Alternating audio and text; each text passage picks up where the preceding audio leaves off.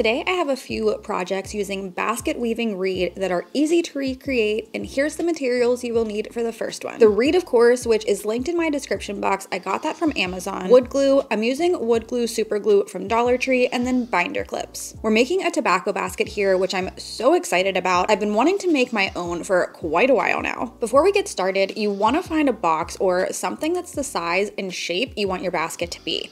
I'm using a 12 by 12 cube storage bin for mine, which made my basket about 14 by 14 inches. So I start out wrapping the reed around the top of the cube and I wrapped it two times. For the second layer, I added wood glue and the binder clips as clamps to hold the reed in shape while it dries. This process does take some time because you need to wait for the glue to harden between each step before moving on.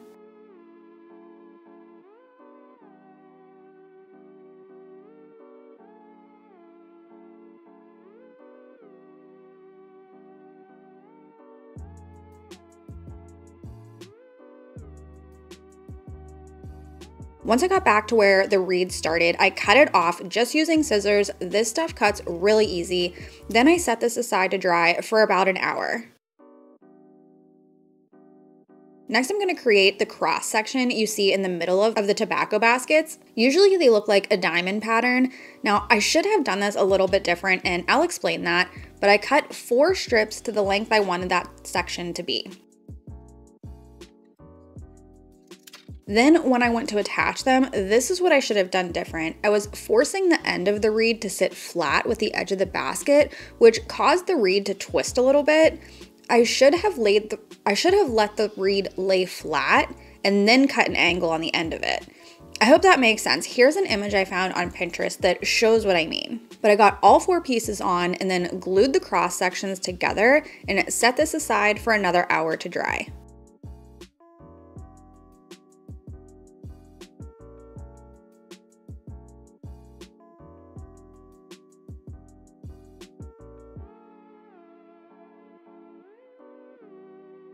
Now I can add the woven section. For this, I glued the end of the reed to the top of the basket and then cut where it was needed. I didn't want to cut all the pieces at once and some end up being too long or too short. This way there was no waste and each piece fit perfectly.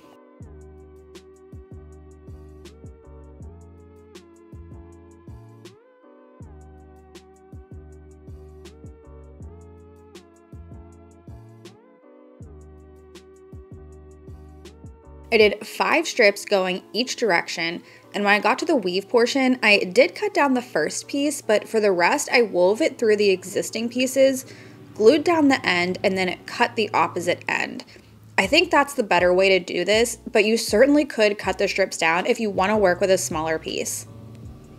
You also want to make sure to alternate the pieces. So if the first one's starting going over, the next should start under.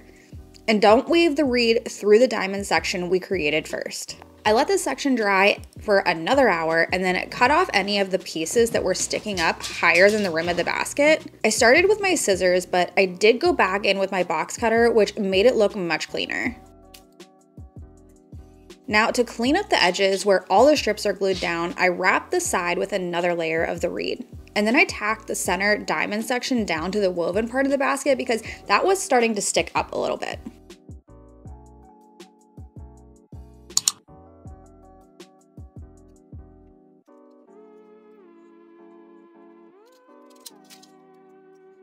Next, I sanded down the edges since there's a lot of little frayed bits and was debating staining the basket or leaving it as is. Most tobacco baskets I've seen are a darker wood, so I did end up staining it with my Valspar Antiquing Glaze. You can find this at Lowe's, and I used a paintbrush and watered it down so it wasn't too dark and got into all those cracks a little easier. That's it for this basket. It is not perfect. I don't love the center design on this one, but it looks pretty good for my first ever basket.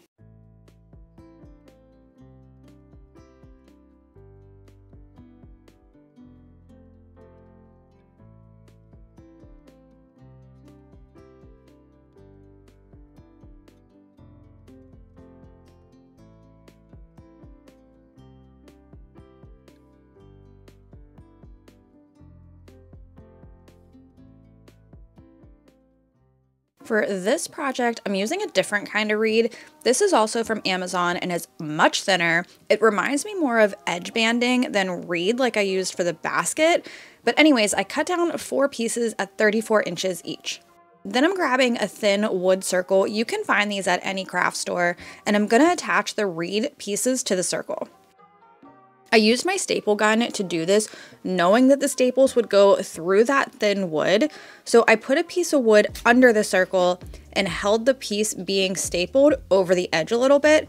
That way I didn't staple it to my craft table or into that wood block. And to push the staple edges down, I just used my hammer and they bent down super easily. Next, I'm taking the opposite end and stapled it down to the opposite side of the circle, and repeated this process with all four pieces of reed, spacing them out evenly.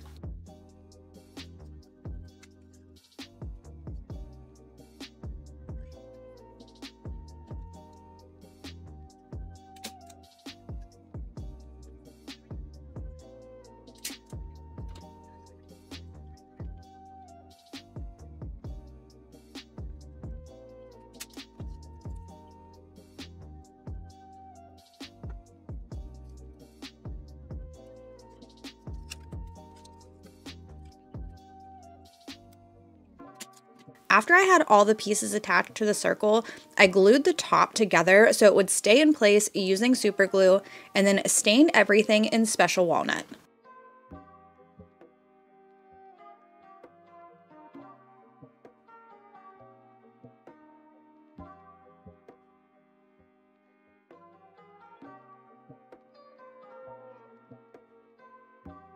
So this is going to be a hanging lantern and I found this plastic chain at Dollar Tree as part of their Halloween decor.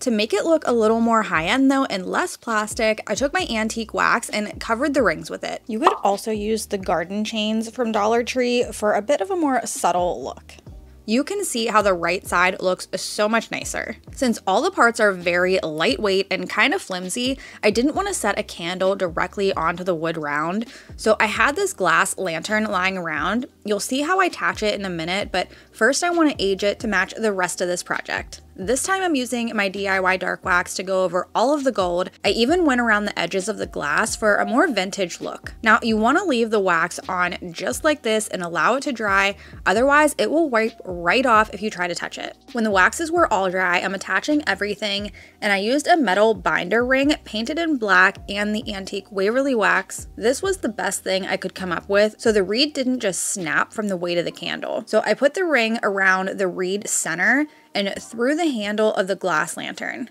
and then attach the plastic chain to it as well. Now all the weight is on that binder ring and I think this looks so good and it was so easy to make.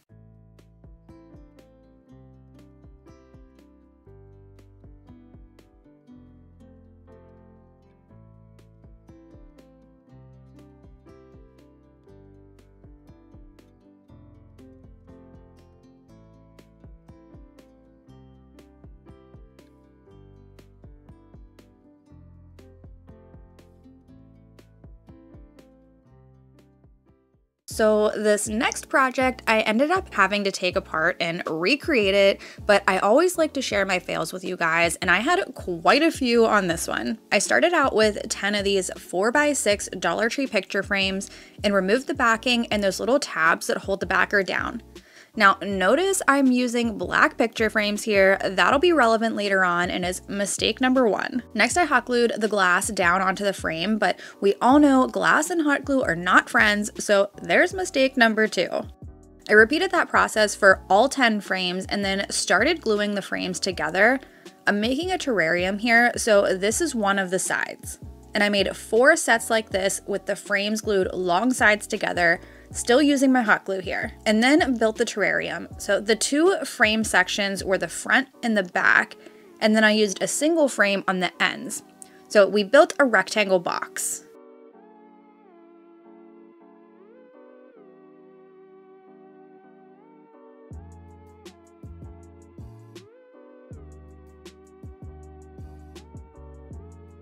and there are two more two frame sections for the roof.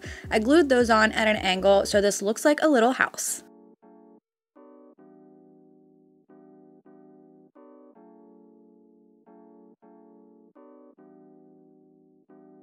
I added some dowels into the gap for more stability. I didn't want the roof to come crashing down and breaking that glass.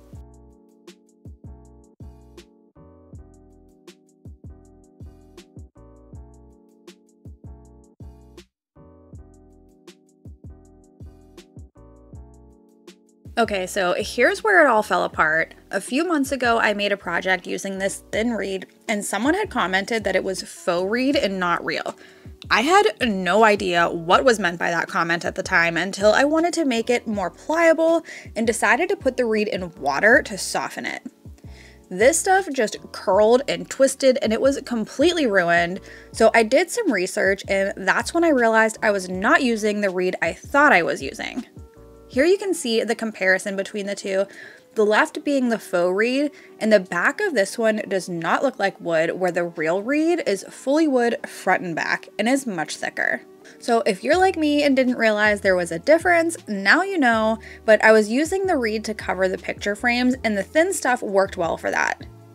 Even if you don't recreate this exact project, some of these tips could help you with other projects and making sure you don't make some of the same mistakes. I started gluing the reed down right on top of the black parts of the frame, and it wasn't until I was almost done gluing the reed I realized how much that black sticks out on the inside since that was not covered.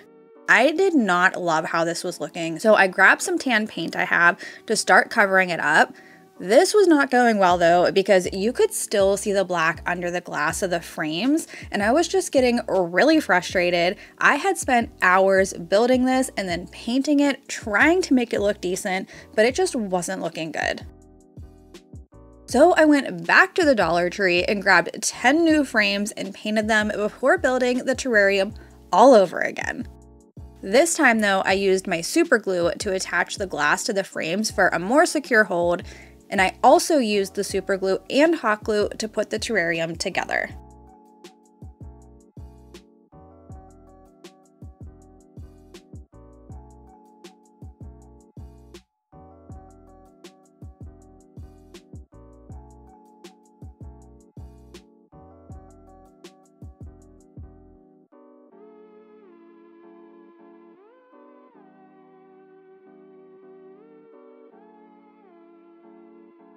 And last I added the thin faux reed back onto the front and it turned out much better the second time.